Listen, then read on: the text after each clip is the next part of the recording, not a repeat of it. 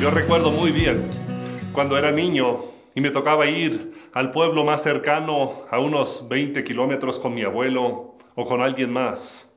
En la trayectoria de mi casa o de la casa de mi abuelo al pueblo había un tramo en una pradera, una pradera muy bonita.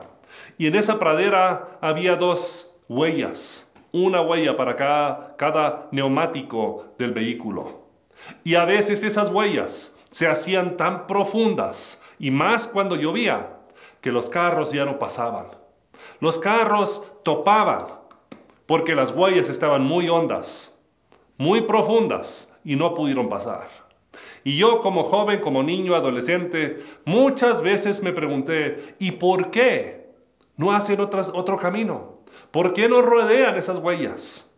Claro que sí, había un cerco, había una línea hasta donde pudieran llegar, pero fueron kilómetros y kilómetros de pradera.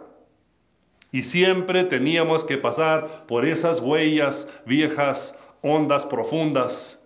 Y a veces los carros o los camionetas se quedaron atascados. Y yo como joven siempre me pregunté, ¿por qué no pasamos por allá, donde hay tanta libertad? Después en mi vida empecé a reflexionar y veo que hasta hoy en día nos pasa.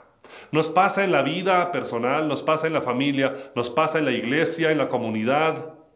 Tenemos cosas que siempre hemos hecho de la misma forma. En la iglesia, reglas. Tenemos costumbres que siempre hemos hecho igual y eso se vuelven huellas muy profundas, donde a veces ya sufrimos problemas, nos atascamos en nuestras costumbres, en nuestras creencias, porque siempre lo hemos hecho igual.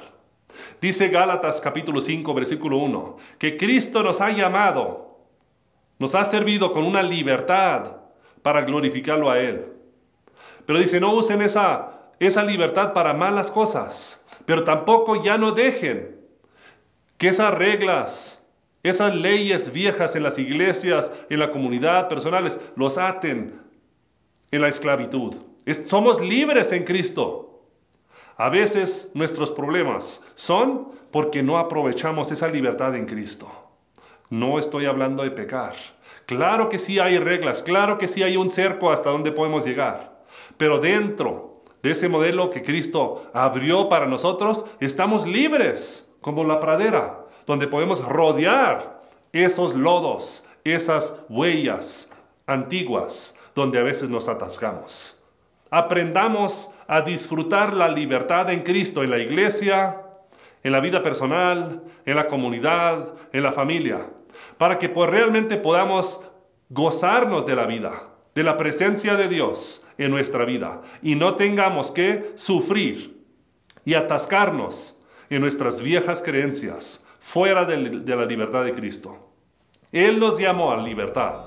No dejemos para nada en el mundo que algo o alguien nos esclavice nuevamente. Estamos libres en Cristo.